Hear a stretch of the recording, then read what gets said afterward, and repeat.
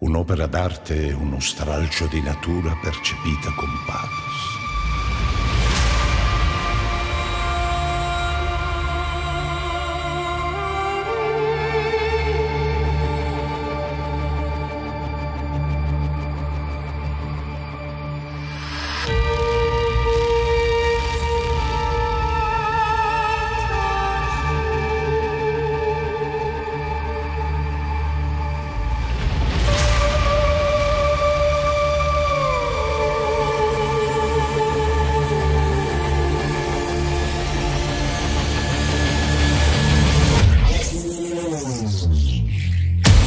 questa era solo materia elaborata da elementi del nostro pianeta.